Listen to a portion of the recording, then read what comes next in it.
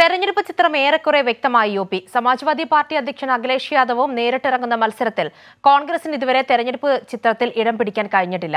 യാദവ് കുടുംബത്തിന്റെ ശക്തി കേന്ദ്രമായ മെയിൻപുരിയിലെ കർഹലിൽ നിന്നും അഖിലേഷ് ജനവിധി തേടുമ്പോൾ ഖൊരഗ്പൂരിൽ യോഗിക്കെതിരെ ചന്ദ്രശേഖർ ആസാദ് മത്സരരംഗത്തുണ്ട് അഖിലേഷ് യാദവ് കൂടി തെരഞ്ഞെടുപ്പ് ഗോതയിലേക്ക് എത്തിയതോടെ യു പിയിലെ തെരഞ്ഞെടുപ്പ് ചിത്രം ഏറെക്കുറെ വ്യക്തമായി കഴിഞ്ഞു. യാദവ് കുടുംബത്തിന്റെ ശക്തി കേന്ദ്രമായ മെയിൻപുരിയിലെ കർഹലിൽ നിന്നാണ് അഖിലേഷ് തെരഞ്ഞെടുപ്പിൽ മത്സരിക്കുക.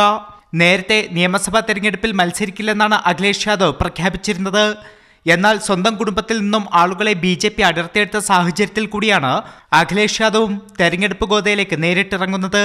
മുലായം സിംഗ് യാദവിന്റെ മരുമകൾ ബി ജെ പിയിൽ ചേർന്നതിന് പിന്നാലെ മുലായത്തിന്റെ ഭാര്യ സഹോദരനും ബി ജെ പിയിൽ ചേർന്നിരുന്നു. മുൻ എം എൽ എ ആയിരുന്ന പ്രമോദ് ഗുപ്തയാണ് ബി ജെ പി പാളയത്തിലെത്തിയത്. അതിനിടെയാണ് ബി ജെ പിക്കും യോഗി ആദിത്യനാഥിനും കൂടുതൽ വെല്ലുവിളി ഉയർത്തി ഗോരഖ്പൂരിൽ മത്സരിക്കാനുള്ള ഭീമാർമി നേതാവ് ചന്ദ്രശേഖർ ആസാദിന്റെ പ്രഖ്യാപനവും.